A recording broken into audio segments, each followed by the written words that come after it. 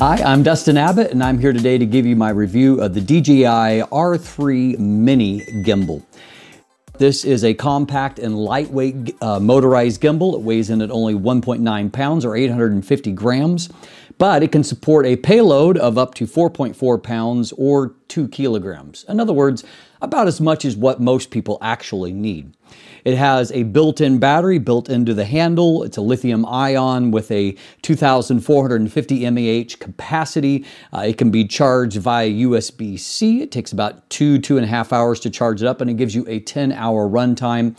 One of the features I love is that we do have a 1.4 inch OLED touchscreen and app control there on the back that allows you to control various functions and to have some actual feedback and to be able to touch and to get right at different menu functions, which is a vast improvement over what I've seen in the past.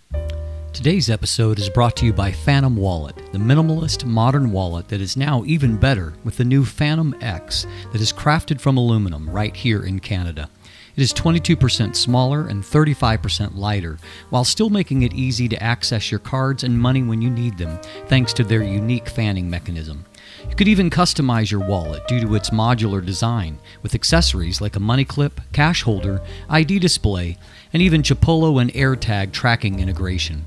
Visit store.fantomwallet.com to check out their unique sizes, styles, and finishes that span from aluminum to wood to carbon fiber, and use code DUSTIN15 for 15% off when you're ready to check out. So today's review is really going to take the form of me talking about the things that I like and the things that I don't like. As that, you know, the basic concept of these gimbals is pretty well established at this point. I've been reviewing motorized gimbals for uh, probably six or seven years at this point. But there are some things that stood out to me from the R3 Mini that I want to highlight as part of this. I'm just going to show you footage as we go along because that's really what this is all about. So the first thing that I love is that we have Bluetooth control over camera functions. You do a quick Bluetooth from your camera to the gimbal itself, and then you can avoid doing anything with any kind of wire connections which I've definitely had to do in the past. And so it gives me control over some of the really important functions here that allow me to get better footage, including having a starting the record, recording.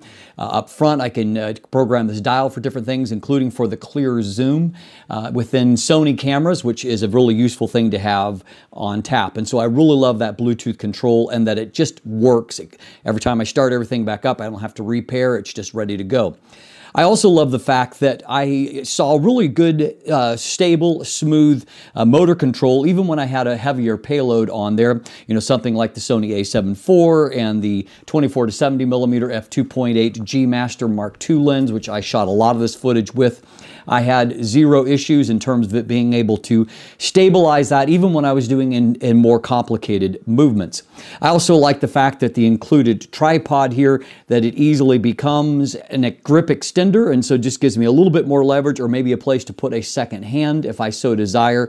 And so as a byproduct, I did find that the combination of it being lightweight and having that grip extender, that I really found that I had much less back strain when getting footage. Some of these gimbals, I have felt it kind of right in between my shoulder blades, just kind of stabilizing out away from your body that after a while it's, you know, you start to ache and tighten up. I didn't really notice that using this, and I think it has a lot to do with the fact that it is just light enough and ergonomic enough that it works quite well. I did note the touchscreen here, and I really do appreciate that the controls here are really they're, they're logical and easy to access. You're not using some kind of wheel to try to scroll in between things. And so, for example, if I just tap here for the follow speed, I've got three options on screen. I just tap what I want and back I can go. I can make a quick uh, choice between the kind of follow mode that I'm going to, to use, so on and so forth. I just have really quick direct control over things. And so I don't waste time trying to find what I'm looking for. Also, I think that the price point here is very reasonable. Um, I got this from VlogsFan, and you can get it for about $359, a little bit less with the coupon code there. And so that's really a reasonable price for a device that's going to be really, really useful. And so a reasonable price, high portability, uh, just makes it an easy gimbal to use and, and to bring along. Let's talk about a few things that I don't love about it.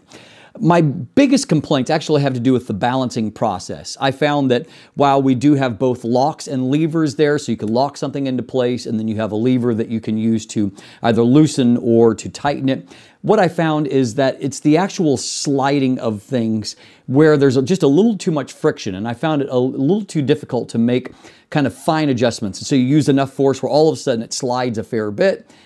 But it's hard to have just enough force to make it slide just a little bit. And often, you know, getting a precise balance is a matter of just millimeters of movement. And so I, I found it a little bit frustrating in the adjustment process.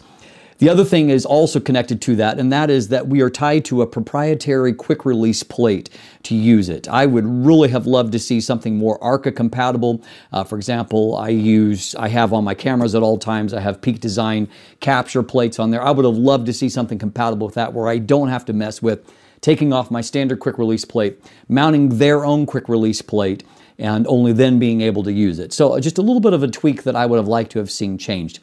The other thing, uh, my final complaint here is considering that this is such a portable unit, I really think it's a missed opportunity to not include some kind of carrying case for it. Even if it's something fairly simple, it's a downer for something so portable that now I need to come up with, it's something I could bring along, but I need to come up with a carry solution to where I'm not damaging it as a part of the process.